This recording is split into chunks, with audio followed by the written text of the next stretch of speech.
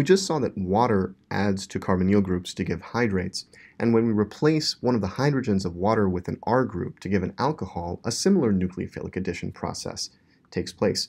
We end up now with an alkoxy group linked to the carbonyl carbon rather than a hydroxy group.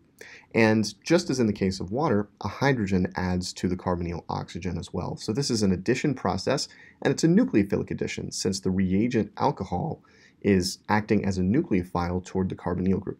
This gives rise to an intermediate called a hemiacetal. This product on the right-hand side is a hemiacetal, and the hallmark of a hemiacetal as a functional group really has to do with this central carbon being linked to two oxygen atoms, specifically a hydroxyl group, an OH group, and an OR group. This is the hallmark of a hemiacetal.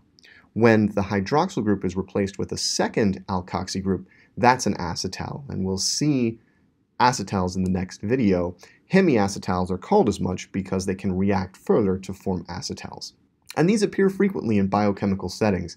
I won't spoil it just yet, but we'll see a very large number of hemiacetals in a particular unit later in the course. Just like the addition of water, this reaction is reversible. In the reverse direction, the reaction amounts to the elimination of the alcohol from the hemiacetal.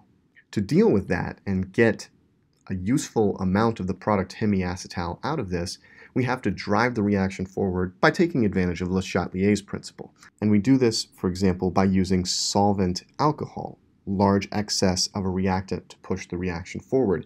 And if we want to go all the way to the acetal, we'll also use the removal of water, since that reaction, as we'll see in the next video, releases a molecule of water.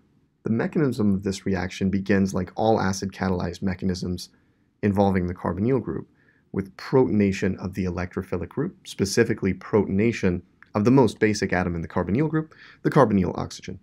The resulting protonated carbonyl intermediate is strongly electrophilic at the carbonyl carbon as a result of protonation, and ultimately that protonation thus has facilitated nucleophilic addition of the alcohol oxygen to the carbonyl carbon. After nucleophilic addition to the polarized pi bond, we end up with an intermediate that is essentially a protonated hemiacetal. We're almost to the product, we just have an extra proton on this intermediate.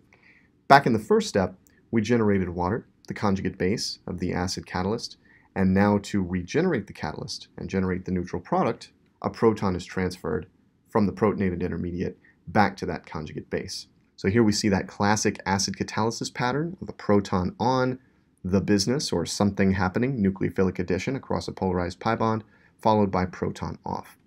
This generates the neutral product. I'll go ahead and redraw it down here. And at the same time, regenerates the acid catalyst, H3O+. This structure we've created is a hemiacetal with one alkoxy group and one hydroxyl group linked to the former carbonyl carbon. It's an addition process, and one thing to notice at this point is that it's redox neutral. We started with a ketone or aldehyde in the plus 2 oxidation state at the carbonyl carbon, and the hemiacetal and the acetal that we'll see in the next video also has an oxidation state of plus 2 at the central carbon. It's purely an addition process. Now the hemiacetal contains a hydroxyl group, and this has the potential to act as a leaving group.